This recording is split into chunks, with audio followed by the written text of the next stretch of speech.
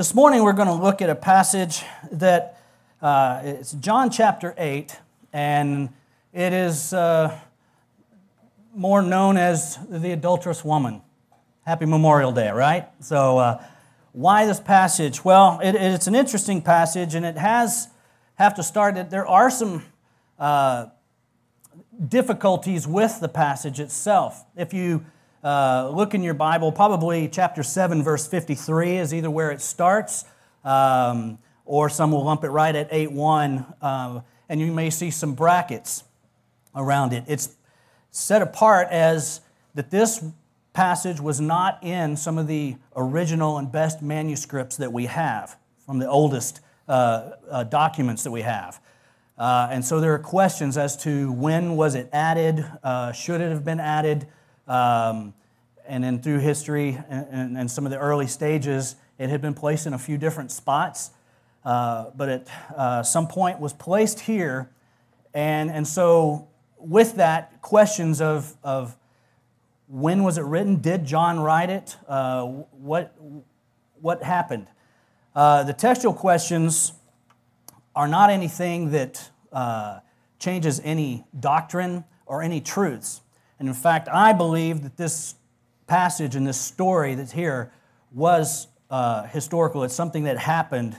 And so as it goes in, has been put in here, uh, depending on the translation, if you have a new, uh, like a King James, uh, because it was translated from uh, the Vulgate or the Latin version, uh, it, was, it was always in there. And so, like I said, there are some issues. If you ever want to have a coffee over it, we can talk about it. But looking at this, it is something that highlights the truths we know of Christ, of his interactions, of the situations that were going on. And so, um, hold this to be something that uh, I do that happened uh, historically. It is John chapter 8, 1 through 11, and it's the story of uh, the adulterous woman. As we look at it, Jesus, if, in its placement here in the text, right beforehand in chapter 7, uh, it had just finished the Feast of Booths, which was uh, a ceremony or the uh, festival that the Jews had commemorating their time in the wilderness. And Jesus, uh, they were his family, which didn't really believe him, some of his brothers, said, You need to go to Jerusalem uh, during this time so that people will see that you're uh, the Christ. And they kind of said this in disbelief, and he said, It's not yet time, because he knew uh, the struggles that would take place in Jerusalem. This takes place in the fall, and it's probably uh, the fall which in a few months would be the Passover, in which he rode triumphantly uh, into Jerusalem and then killed at the end of that week. And so it's just a few months prior to that. Uh, he wasn't going to go up there and he told them, Go on without me. He hung back. And then midweek, he shows up at the festival and he starts teaching. Uh, and they're amazed wisdom. For someone who's hasn't been schooled like the Pharisees and all that, his teaching, where is he getting this? Isn't he just a Galilean? And there's this division. And the Pharisees have already felt the, the threats. They've been threatened in their power by him, and they're seeking to kill him. And he challenges them, even through uh, looking at the law of Moses, bringing up uh, why he should heal somebody. And then he brings up that circumcision is done, even if it falls on the Sabbath, you would allow that for a child. So why not make someone whole and well? Uh, but it was the way the Pharisees and the religious leaders were trying to get at him for anything they could that would be wrong. And so this ends, uh, and then Jesus, uh, he'd been teaching, and they were amazed. But then it says in uh, verse 1, we look at the first part here, verse 1 through 4, and we look at a, a section here where a woman is caught. And it said, They went each to his own house, but Jesus went to the Mount of Olives. He would go there and sleep. Uh, he was kind of nomadic. Remember, the Son of Man had no place to lay his head. Foxes have holes and the birds have nests. He would find himself, he would go to the Mount of Olives, um, where they would basically, industrial area, a garden, take the olives. There was presses and things there that would make olive oil and all that, but he would go into that garden and he'd spend the night. And so he goes there, and then he comes back. And it says, Early in the morning, he came again to the temple, and all the people came to him, and he sat down and taught them. And the scribes and the Pharisees brought a woman who had been caught in adultery, and placing her in, his, in, his, in the midst, they said to him, Teacher, this woman has been caught in the act of adultery. So they brought this woman. He's back at the temple, he's teaching. And all of a sudden, the scribes and the Pharisees, they bring this woman. It's early in the morning, and there's something going on here. The festival has just ended, but he's still there. There's a lot of people still around, no doubt, that have not just left town yet. And especially with him having been such a draw, they are there to listen. But the scribes and the Pharisees bring this woman to him. Now, immediately there's a lot of questions that should surround this because here we are, someone who they have caught, they have seized, they're bringing for trial, pretty much. You think, well, what should go on legally in this? Well, they should take her to the Sanhedrin to go under trial. But they're bringing her to him uh, because he's out in public, and we're going to find out later they've got ulterior motives in doing so. So, who is this woman? We don't know. We have no idea. There's uh, no name given, there's no association of who she is. Um, but they bring her, and, and, the scribes and the Pharisees have already uh, had it out for Jesus, seeking to kill him, which he confronted in chapter 7 and brought it out to light. And so they're bringing to him this woman. Now, this crime that they seize her in, and I'm being very judicious here this morning as we talk about, but uh, uh, to bring her alone is not part of the protocol that they should be going through in uh, bringing about justice. They bring her by herself. She was not by herself. There's another party involved. And the Bible says both should be brought. So something's not going right. Something's fishy about what's happening here. Things are not being uh, followed as they should because there's an issue going on. Um, it's, it's a mob mentality in a sense. They're out for a lynching, they are out for a, a purpose here. Something's not right. There's a, a F.B. Meyer, a commentator, said, It is a terrible thing for a sinner to fall into the hands of his fellow sinners. Because even though they may have caught her in sin, this is a mob mentality that is out against Jesus, and right now she's a pawn in their scheme. They bring her, there's a crowd gathered, and they bring her to him. And so then they, they, they lay this trap. In verse 5 and 6, it says that they had caught her in the act, and, and they said, Now, um, teacher, this woman has been caught in the act of adultery. Now, in the law of Moses, uh, the law of Moses commanded us to stone such women. So, what do you say? And this they said to test him, that they might have some charge to bring against him. Side note, this says this is the reason they're really here. Are they out for justice? Are they just out looking to see what's wrong in the world? And we're going to take care of it? No, something's not right. They're out to test him. So there's thoughts. This is, a, this is a trial for him. They're trying to find him and catch him in a situation where he can misspeak and they can turn on him and get him. In the meanwhile, this woman is brought out. The man is not. This is not correct. They should both be brought out by uh, law in Deuteronomy 22 uh, explains what should happen. It should be credible witnesses. This is not something that would have happened out in the open, in the public. This was something that would have been very private. And for them to have found uh, this woman and have been true eyewitnesses, something's not right there. Some have said that this is probably a setup and that this man who uh, should have been brought out who's involved was either allowed to escape uh, or that he was even part of the setup, uh, or uh, that he might have even escaped after that, or he was in the group there that was coming forward. Uh, we don't know. Nothing is said about him except that he's absent in the text. And so something is not right. It's not following protocol. They're bringing out, they're not going quietly to the Sanhedrin. They're coming in public to Jesus, and it says they are there to test him. And they said the law of Moses, specifically uh, Leviticus 20:10 and Deuteronomy 22:22, said both parties, if guilty, to be brought out, would be put to death.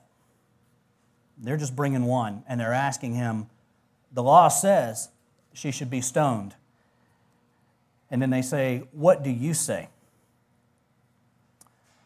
The test here for Jesus and trying to trick him is that if he says, Yes, she should be stoned, I agree with the law of Moses, then he would get, go against the law of Rome. See, the Jews did not have the right to capital punishment. Um, and if you think about like Pilate, uh, had to agree to Jesus' uh, Jesus's crucifixion. Uh, they could not just kill Jesus, they had to get Roman authority behind it. There are mob mentalities where there were stonings, sometimes off in uh, remote areas. Um, you know, there were times where Jesus, they were going to approach him and he slipped away, even uh, up in Galilee uh, early on. There are times where, but, where it almost they act, but it's not something that could be owned by the Sanhedrin or the religious leaders. It's kind of like, oh, a rogue group got somebody. Uh, but this, in the public, if Jesus says yes, stoned, then uh, he, he is in the public making a decision that would lead and he would be culpable. And so they're trying to trick him on that. If he says, no, she should not be stoned, then he goes against the law of Moses. Think about how many times they tried to come up to Jesus to trick him. This is one instance. If you think about others, is it, is it lawful to pay taxes to Rome? And what happened? They're coming at him, and Jesus answers them. He's too good. If you guys, uh, Mike Tyson, heavyweight fighter years ago, if you're young, uh, was almost invincible for a while. And uh, before fighting Evander Holyfield, they said, Are you nervous uh, that, you know, about fighting him? And he said, Everyone has a plan until they get punched in the mouth. They're all ready to go. The Pharisees and the scribes have a plan. They're going to trick Jesus. And in a sense, they're about to get punched in the mouth. He's too good. And so they bring this to him, hoping to trick him, to get him to choose one side or the other, and then he'd be exposed uh, one way or another. And they said it to test him. And then Jesus bent down and wrote with his finger on the ground. And as they continued to ask him, he stood up and he said to them, Let him who is without sin among you be the first to throw a stone at her. And once more he bent down and wrote on the ground. But when they heard it, they went away one by one, beginning with the older ones, and Jesus was left alone with the woman standing before him. They come to him, they ask this question, and he's standing there, and the woman's standing there. All of a sudden, Jesus, he bends down and he starts writing in the sand, on the ground, the dust. And he's writing and we're always wondering, what did he write? Commentators have tried to figure out speculations. What was it that he wrote? Some have thought, ah, he was maybe writing down the law, the Ten Commandments, uh, and writing that down. Maybe uh, he was writing something out of uh, Deuteronomy, another part of the law where they were uh, improper witnesses. They weren't going about like they should have. Maybe he was writing their names. We don't know. But it mentions it, and there's something that's kind of sleight of hand about it in a way that's kind of like distraction. All of a sudden, the focus is not on her. There's something almost uh, establishing some dignity for the woman as he bends down and starts writing, and they're waiting to hear. Where's the focus now? What's he writing? What's his answer going to be? And they press him more. What is his? And they, they pressed him more. And he doesn't say a word, but he's writing. We don't know what he wrote, but I think he genuinely either it was something they could read and recognize, or for whatever reason, it took the focus off of her. And then, as he said, then he who is without sin may cast the first stone. He didn't dismiss what she had done as whether or not she's guilty or not. But as far as the punishment, he said, Whoever's without sin, be the first at it. Those who were accusers or witnesses by law were to be the first ones to throw stones. And so Jesus throws it out there for them. But in doing so, I think the distraction takes away from her, it brings it to something else. It brings it away from her, and as he answers them, whatever it was, it put it on them. That then each one of them left. The oldest, the older ones going first. My, uh, one of my mentors and uh, Keith Chansey, who taught me a ton about youth ministry, and when I came into Denton, uh, he used this in a sense in counseling people because there's always an issue. But too often we make it such a personal thing that gets in the way of getting this issue. And he would just kind of write on his hand, just as talking with somebody, and say, So, what's the, what, what, what is our issue here? What is, and kind of get it out here. And almost like write with his hand. Just kind of following this. And it was amazing because whether you were on the receiving end or trying to talk through something, or if it was something that was uh, you know, really deep with a student or a leader or whatever, working through some issue, it took it off of what have you done, you, and said, what is the thing we're dealing with? Whether it be a sin, whether it be whatever it is, let's deal with this. And it, it was almost genius, but it was taking from this as a, as a method. I think it was a way to take the, the, the focus off of her, put this onto what's going on here, and whatever it is he wrote, they took it to heart and they dropped it. Who went first? Who were the ones to leave first? The older ones. Why is that? Well, the older ones, and maybe in here we can affirm it, are usually more aware and self aware of their life. You know what you've done wrong, you know you're not perfect. Those who are younger, tend to be a little more brazen, kind of unaware. Or if you're a younger Christian, what do you focus on a lot of times? You're focused on the biggies. You know, don't do this, don't do this, don't do this. In seminary, one of our professors said it was, seems our job as students sometimes is to avoid the major sins and hide the minor ones. Young Christians will avoid the major ones. Yeah, all right, I got to give up cussing and drinking and you name it, whatever. Those things we don't name, or what, you know. You get older and you begin to find a lot of other dirt, motives, the heart behind why you do what you do. You're like, gosh, even when I'm doing good things, I'm doing it for me. I'm doing it so I'll be recognized. You get a little older, you aware that your heart is not so pure oh, maybe you're not doing these big things, but you know your life still is full of sin. And as Jesus says, you who are without sin, not necessarily meaning perfect, or else, you know, the law, you could never have charged anyone with anything. But in this instance, he throws it back, probably uh, calling to light their hypocrisy as they come at her with a charge trying to get him in a trap. And then he writes and he turns it back on them How pure are you? And if you are pure, throw the first stone. And it pierces them. And I'm sure the older ones are the first one to kind of back off, Look around at the others. Anyone else going to take the first shot? They drop it. There's a few young bucks left. Well, I guess we'll drop it too. The stones are all thrown away. And Jesus, he had knelt down and written again, and they all left one by one, beginning with the older. And then Jesus was left alone with the woman standing before him. So you have this woman caught, you have this trap that was laid, you have this challenge that's made, and they fail on it. Um, but then you have a pardon that's given. And so Jesus, he stood up, uh, or he's, excuse me,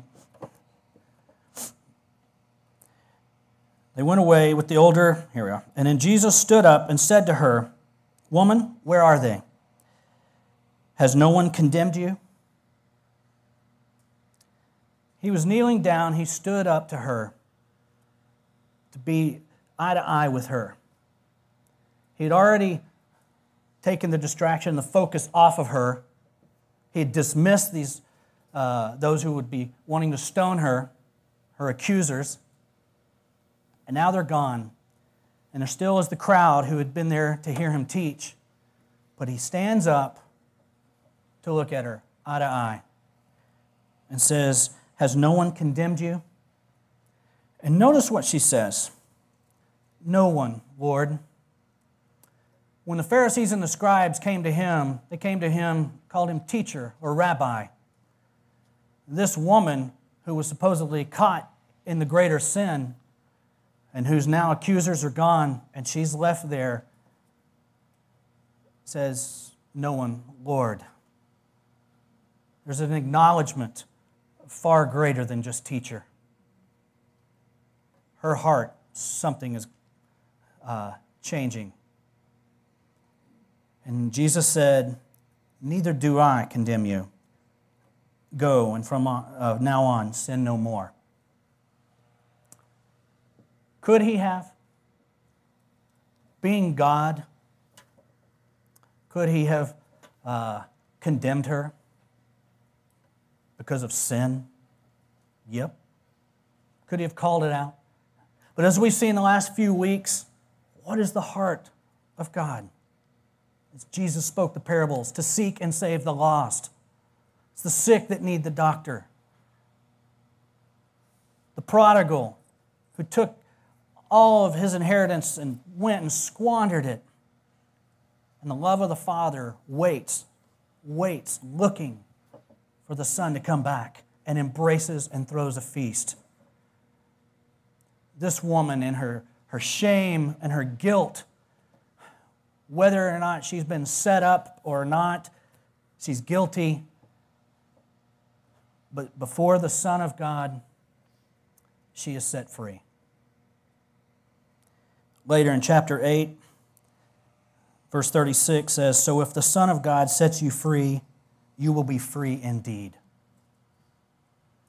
Galatians 6 1, it is for freedom that Christ set us free, that we'd not be a, slave uh, to sin and under the bond of slavery.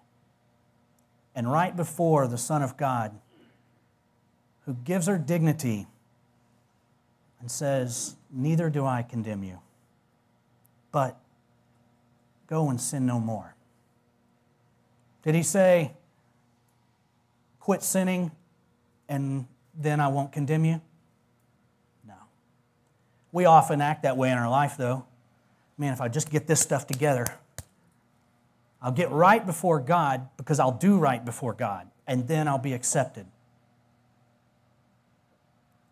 He says, no.